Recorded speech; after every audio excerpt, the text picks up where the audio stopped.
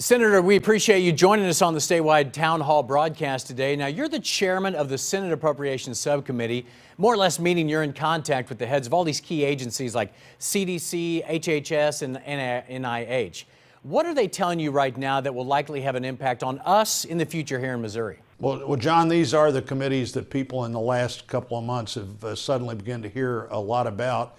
And, and I think uh, they're working together in ways that we have always hoped uh, they could in terms of uh, moving forward quickly on, on treatment, on testing, on a vaccine, uh, trying to figure out how they can develop new partnerships with pharmaceutical companies and others uh, to try to really have all of those things on a, on a two track process where we're ahead of where we would have been at any other time in all of those things that we need to deal with the virus and then eventually to emerge from the virus with a vaccine. Yeah, I'm curious too because you made news this week when you see the headline Shark Tank, right? So uh-huh.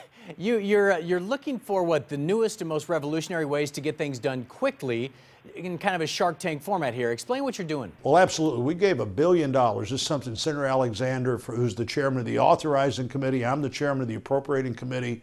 Uh, we've worked together for two months now to try to come up with a unique way to fast forward the decision making process. And uh, in five days after the bill was signed, the National Institute of Health had a Shark Tank up and running. Uh, they had 400 responses in the very first day. Now the job is for those Shark Tank experts to narrow those responses down. What we want to do is say, let's get the four things that have at least a 50% chance of being successful, and let's go ahead and start toward production with all four of them.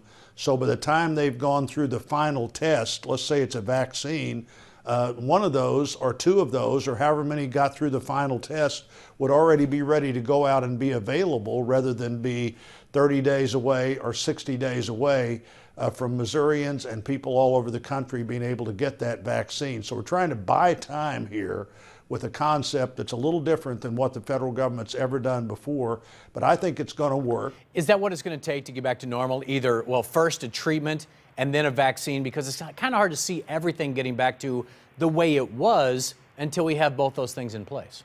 The three things we need to be focused on are the vaccine, which probably takes the longest, but we're trying hard to get that done. If we can at all, set a record and get that done by the end of this year.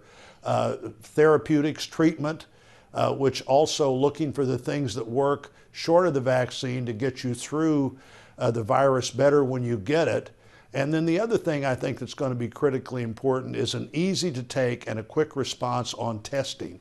And so, vaccine, therapeutics, testing, all are part uh, of the Shark Tank uh, concept. Uh, they're talking about a warp speed view toward a, uh, a, vaccine. That's exactly what we're talking about as part of the whole Shark Tank uh, uh, process. Senator, one last question here for you. We keep hearing the calls to make sure that from this point on, the manufacture of drugs, of vaccines, of PPE is done in America, along with pharmaceuticals, of course. How do we ensure that that actually happens this time? Because we've been debating this for years, and now we find out how urgent that actually is. Well, in the CARES bill, in that big bill, not the one we just did to clean the big bill up and do things that needed to be uh, to fill in the gaps in the, the CARES bill, uh, Senator Durbin and I actually proposed uh, an idea. We work together on some things. There are a lot of things we don't agree on, uh, but one was to, to have a crash study by the, the uh, National Science Foundation of, of our supply chain, uh, supply chain for PPE, the, the protective equipment, a supply chain for medical devices, a supply chain for pharmaceuticals. Uh, I think we're going to be looking at lots of supply chains as we get out of this and the economy generally. But the most critical one to look at is the one that impacts healthcare. That's already started, it's already funded. We hope to have uh, some answers soon on what we need to do to have a, a supply chain that's more secure for America's health and also to be sure that we have a supply chain where we don't just have a sole source for anything that we need to keep our country safe and healthy. Senator Roy Blunt, we appreciate your time today.